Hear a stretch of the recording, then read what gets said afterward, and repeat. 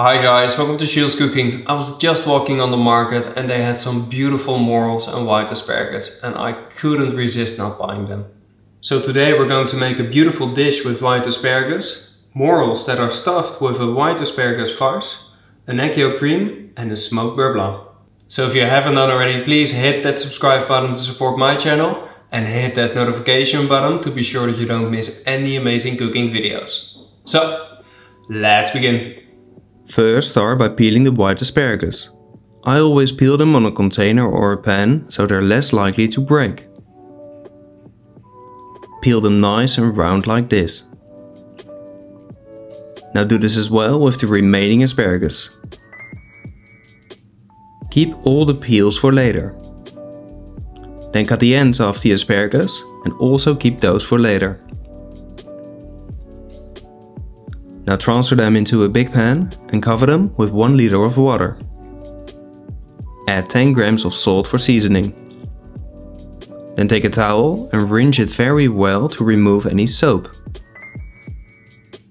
After that use the towel to cover the pan and bring it to a boil on a medium heat. The towel will ensure a more even cooking process. Once it has boiled, turn off the heat and let it cool down out of the fridge. Meanwhile, weigh 200 grams of the asparagus trimmings in a pan and also add 150 grams of vegetable stock and 150 grams of cream. Cover this with foil and then bring it to a boil. Once it has boiled, let it marinate for at least 3 hours in your fridge. Then remove the foil and pass the liquid through a fine sieve. Now take the towel from the asparagus and squeeze all the liquid out. Then also remove the asparagus from the liquid and portion them to the desired size and shape. After that pass the asparagus cooking liquid through a fine sieve and keep it for later. Now for the stuffed morels. First dissolve some salt in a bowl of lukewarm water and use this to wash a couple of morels. Repeat this process 5 times till all the dirt and bugs are removed. Then take the asparagus cooking liquid and bring it to a boil. Once it's boiling, turn down the heat and blanch the morels for 60 to 90 seconds. Now transfer them on a tray and let it cool down in your fridge.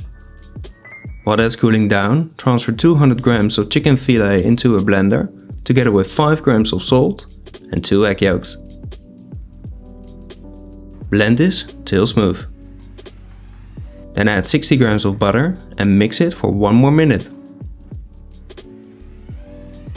Now while blending, add 200 grams of the cold asparagus cream that we just made and directly stop mixing to prevent it from separating. Then press it through a fine sieve using a spatula or dough scraper. After that, transfer it into a bowl. Now take 40 grams of sea aster and blanch it for 30 seconds in the asparagus liquid. Then transfer it onto a tray and let it cool down in your fridge. Once it has cooled down completely, transfer it onto your worktop and chop it. Then add it to the farce and mix it well. Now put it in a piping bag fitted with a small round nozzle and use the farce to fill your blanched morels. Make sure they're filled all the way. Keep them in your fridge for later. Then the smoked beurre. First sprinkle some smoking wood on the bottom of an egg tray. I use apple wood. Then set fire to the wood and directly cover it with the top of the egg tray. Now place a bowl filled with ice cubes on there and then 250 grams of butter. Cover this with another metal tray and wrap it well with some foil. Let it smoke for 1 hour. Then remove the foil and keep your butter in the fridge for later. After that, take 3 big onions and clean them. Now chop them. transfer the chopped onions into a saucepan together with 700 grams of white wine, 200 grams of Madeira, 3 sprigs of thyme and 200 grams of white wine vinegar. Reduce this for 80% and then pass it through a fine sieve using a ladle so you don't waste anything. Now weigh 100 grams of this liquid into a saucepan and also add 20 grams of cream. Bring it to a boil. Then while stirring add 200 grams of the cold smoked butter. Do this in small cubes at a time. Now give it a taste for seasoning and season with salt. Then for the egg yolk cream. First cook 4 eggs at 63 degrees Celsius for 90 minutes. Once they're cooked, let them cool down in ice water. Then separate the yolks from the whites.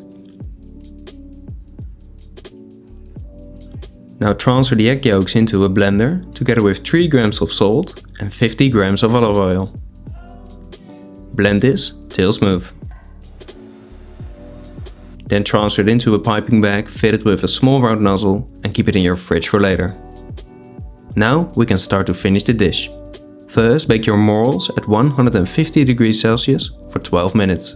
Meanwhile, also heat up your asparagus in some hot asparagus liquid and start laying a couple on a plate. Then cut a couple of cooked morels in half and plate those as well. Add some more asparagus and pipe your egg yolk cream in between. The cream is at room temperature. Then decorate it with some small sea aster leaves and wild garlic flowers. Now I also added some wild garlic oil and that's the one that I made last week. And then we finish the dish with the hot beurre blanc. Okay guys, that's it for today. Um, I had a blast making this one. Stuffing the morels with the farce was a lot of fun to do. It was the second or the third time I did it and um, yeah, they're delicious. I already had a couple. Yeah, it's amazing.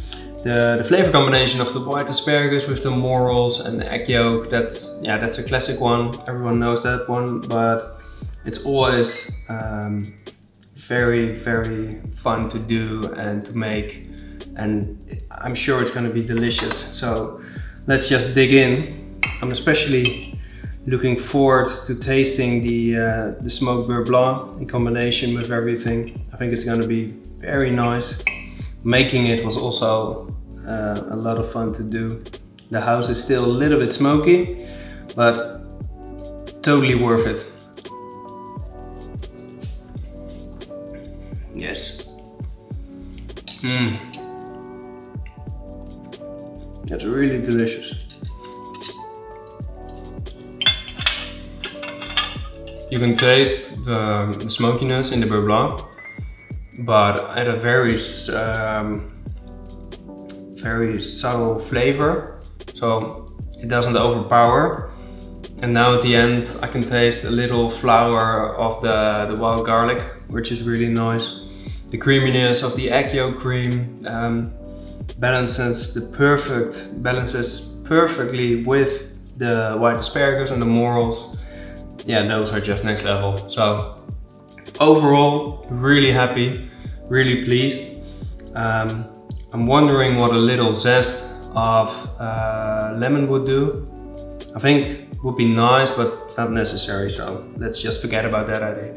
Okay, that's it for today then guys. I hope you've enjoyed the video. Please let me know in the comments on what you want to see next. Like and share the video and subscribe if you want to support my channel and see more amazing cooking videos.